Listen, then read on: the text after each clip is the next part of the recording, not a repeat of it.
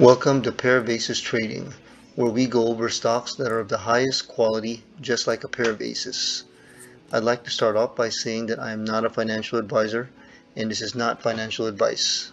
So please take my words with caution, as this is all my opinion. Hello there.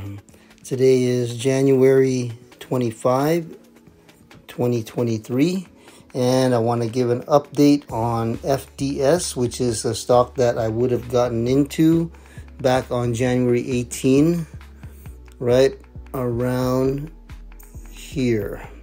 If you recall, I got in because the weekly MACD histogram started going down and then started sloping up, and that's when I got in.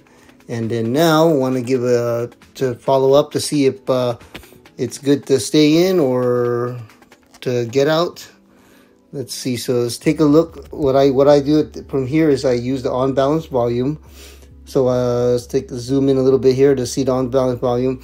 You see the peak over here and the peak over here.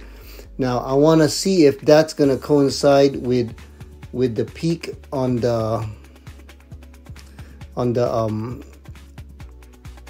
the price itself. So let's take a look here So the price right right over here. Let's take a look here. It looks like it's um there's a slight divergence, but not really a divergence. Let me explain what I mean by that. Let's go a little bit closer here. See this peak over here and this peak over here. This one over here on the right side is a little bit higher than the one on the left. So I want to take a look at the coinciding price on the, the chart. The peak over here compared to the peak over here and then the peak over here compared to peak over here. So if you take a look at that, this peak here is a little bit higher than this peak right but over here in the chart this peak is a little bit is lower than this peak so that it doesn't coincide. Um, this peak here should be higher than this peak because the because of the on balance volume, but because it's not the case, that's what they call um, a divergence. So whenever there's a divergence, it's a good time to get out of a stock. So now I would uh, most likely want to get out of stock if I was making money, but in this case, I'm not making money yet because it's only at 420. 425 that's about the price that I got in.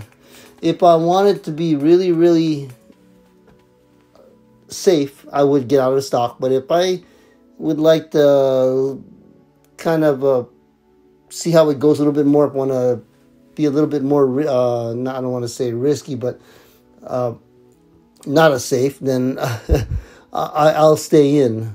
So in this case just for to see how it goes let's uh, let's say I don't want to be uh, super safe and I'll stay in.